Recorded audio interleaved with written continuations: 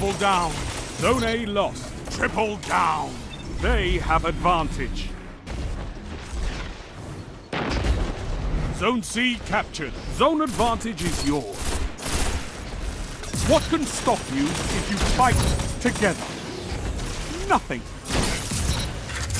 Two for one. Yes! Three down! Gains the lead.